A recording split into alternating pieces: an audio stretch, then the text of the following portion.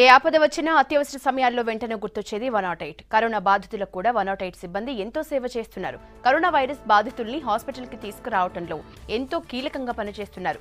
బాధితుల్ని హాస్పిటల్కి తీసుకువెళ్ళే విషయంలో కొంత ఆందోళన ఉందని చెప్తున్నారు వన్ నాట్ ఎయిట్ సిబ్బంది.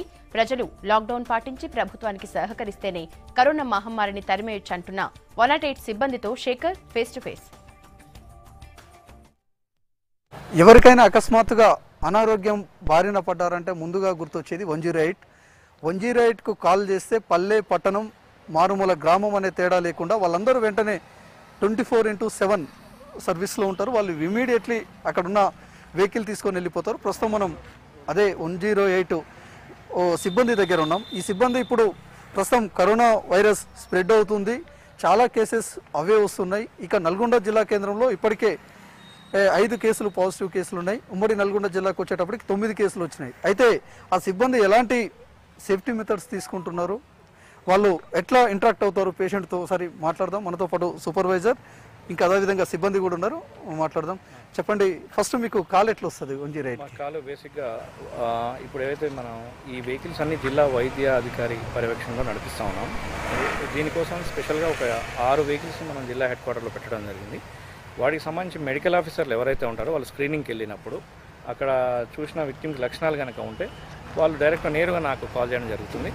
ఆ మెడికల్ ఆఫీసర్ అలా చేయగానే నేను ఇక్కడ ఉన్న అంబులెన్స్ని మన ఉద్యోగులకు ఏదైతే పీపీఈ కిట్ ఇచ్చారో పర్సనల్ ప్రొటెక్షన్ కిట్ ద్వారా సీన్కి పంపించడం జరుగుతుంది. అక్కడ నుంచి సస్పెక్టెడ్ అయితే లక్షణాలు ఉన్న విక్టిమ్స్ని ఏవైతే పేషెంట్ని తీసుకోవడం అండ్ ఆ తర్వాత వైద్యాధికారి మన డిఎంహెచ్ కొండలో సార్ అప్డేట్ చేస్తూ ఎక్కడికి తీసుకెళ్ళాలని వారి పర్యవేక్షణలో మనం నల్లకుంట కానీ డీజీఎస్ నల్గొండకు కానీ తీసుకురావడం జరుగుతుంది. ప్రజెంట్ ఏంటంటే మాకు కేసు వచ్చిన తర్వాత ఏమీ గారు చెప్తారు మాకు సూపర్వైజర్ గారు కేసులు ఉన్నాయి తీసుకెళ్ళాలని చెప్తారు సీన్కి వెళ్తాం. వెళ్ళిన తర్వాత పీపీఈ కిట్ యూజ్ చేస్తాం మేము personal protection kit.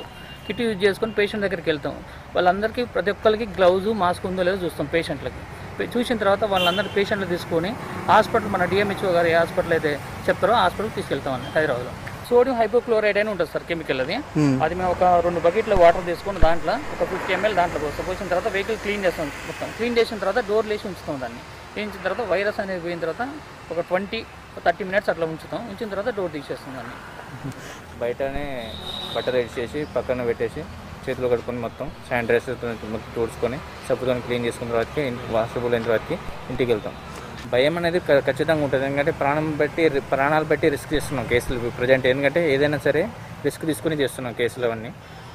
ఇప్పుడు భయం అనేది ఖచ్చితంగా ఉంటుంది. కానీ ఇది తప్పదు పరిస్థితి ఇప్పుడు. ఎందుకంటే ఇప్పుడు అందరు చేయాల్సిన పని ఇప్పుడు ఎందుకంటే ఎమర్జెన్సీ పనులు డాక్టర్స్ అండ్ టెక్నీషియన్స్ ప్రతి ఒక్కరు సేవ చేయాల్సిన పని.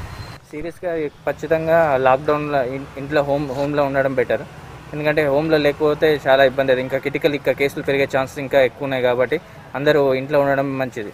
మేము ఈ కేసులను చూసిన తర్వాత టేకప్ చేసి వెళ్ళిన తర్వాత ఇంట్లో పిల్లల్ని కావచ్చు కుటుంబ సభ్యులను కావచ్చు దగ్గర వెళ్ళాలంటే ఓ రకమైన భయం ఉంటుంది. ఆ భయాన్ని దిగమింగుతూ మేము ప్రజల కోసం పనిచేస్తున్నాం. మీరైనా ఇప్పుడు సేఫ్టీ మెథడ్స్ తీసుకొని ఇంటి దగ్గరనే ఉండండి అనేది వాళ్ళు చెప్తున్న వర్షన్. మొత్తానికి మాత్రం ఉమ్మడి నల్గొండ జిల్లాలో చాలా కీలకంగా వైద్యులతో పాటు వైద్య సిబ్బందితో పాటు వన్ జీరో ఎయిట్ అనేది చాలా కీలకమని చెప్పుకోవచ్చు. ఇది నల్గొండ జిల్లా నుంచి తాజా అప్డేట్. కెమెరామెన్ కృష్ణతో Shekhar V six news Nalgonda జిల్లా.